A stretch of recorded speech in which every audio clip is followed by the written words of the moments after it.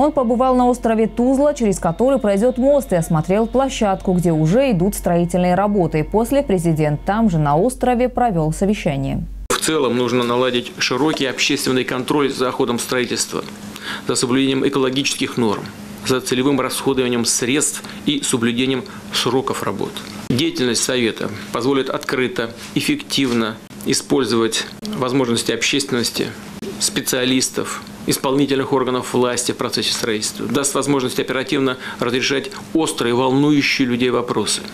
И, кстати, аналогичный совет действовал у нас при подготовке к проведению Олимпийских игр в Сочи.